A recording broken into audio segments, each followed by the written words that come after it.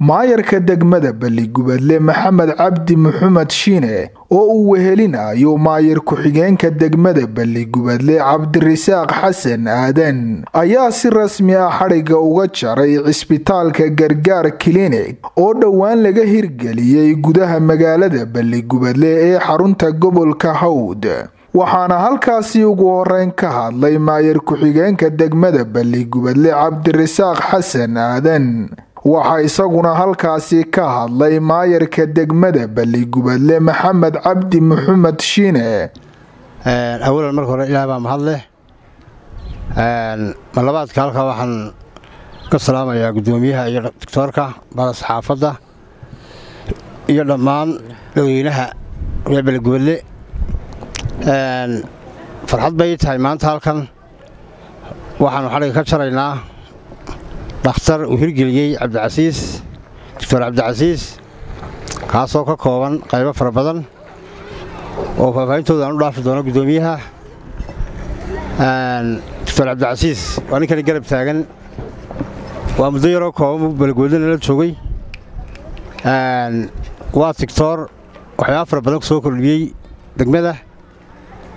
Waan uga mahad celinaynaa waxaanu leenahay gargaar klinig helt allah ku barakeeyo.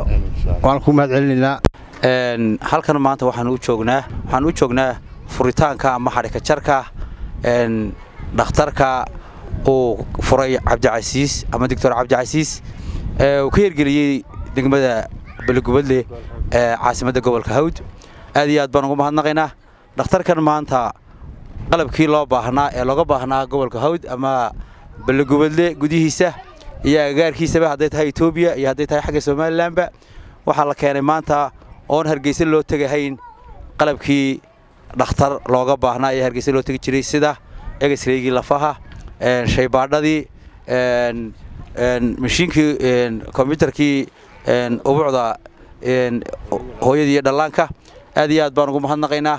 Waxaan leenahay dictor waa dadaashay dadkaaga iyo deegaankaaga iyo dalkaagaba waxbaad ku soo kordhisay. Ilaahay hakaajisay siiyo.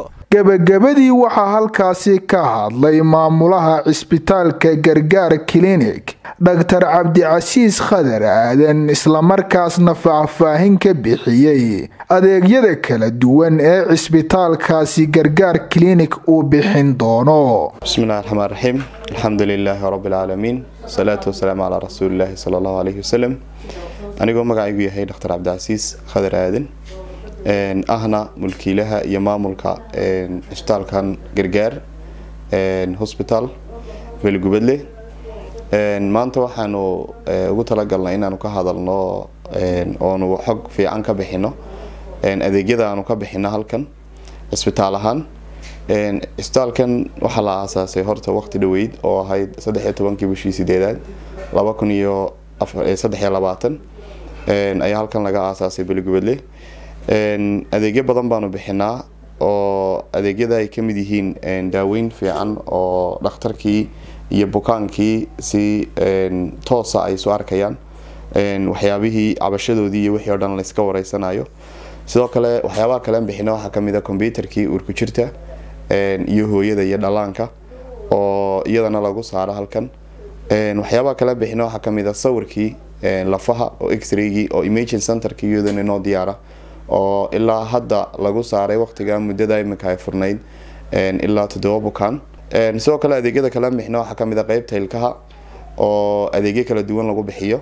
Hadday tahay buuxintii hadday tahay saaristii hadday tahay biraxidhistii hadday tahay meedhistii intaba adeegyadaasoo dhan lagu bixiyo.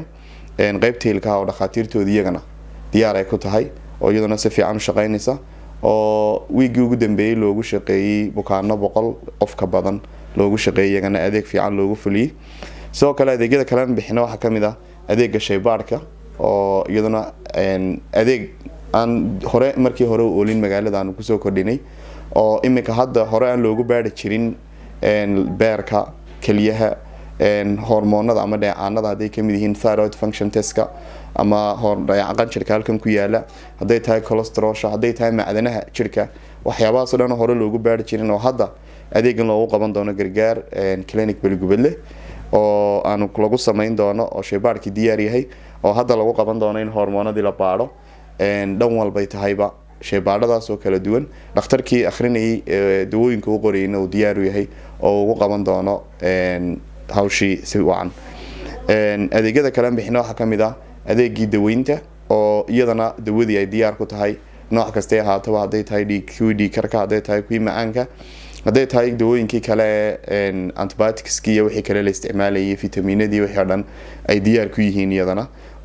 Waxyaabaha kalen kaga duwannahay hadda aanu soo kordhina waxaa ka mid a in cid kastaba cid aqoon leh ay meesheedii ka shaqeynayso oo sharmeerkii shaybaadhistkii uu joogo dhakhtarkii uu fadhiyo sidoo kalena uu joogo inantii farmasiga oo farmasigii iyadana qof farmacology uu joogo oo si fiican ugu adeegayo. Sidoo kale adeegyada kale aanu bixina waxaa ka mid ah in la socodka hooyada uurka leh oo si joogta loogu sameeyo antinatal carekii ama la socodkii hooyada oo visitka koowaad noo timaada labada bilood ugu horey ama saddex bilood ugu horey combyuterkii lagu saaro shaybaadhadii laga qaado dhiigageedii inta heerka levelka dhiigeeda uu marayo.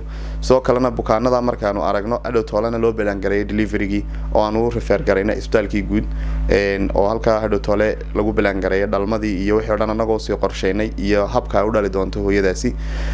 Marka hooyadu visit koowaad visit labaad visitka saddexaad ilaa visitka afaraad si joogta ayay hooyooyinku noola socdaan deegaamadan u shaqeynaana aad bay u badan yihiin oo etoobiya oo dhan ama dowlad deegaankii soomaalida wixii jigjiga ka soo sokeeya o dhan baa toos noogu imanaya sidoo kalena xaggan kale deegaamadan kale ee bariga iyo galbeedkaba xiga oo dhankan somalilanten iyo wadankeena iyadana way nooga yimaadaan hadday tahay gumar hadday tahay xaggan kaabada iyo dhinacan deegaanada inaga xiga oo dhan iyagana waxaweeye adeegyada iyo hooyinka dhalaan kale way noo yimaadaan ee uur kale guud ahaan adeegyadan ku bixino isbitaalkan gargaar clinic ee beligubadle branchkiisan beligubadle waa intaas.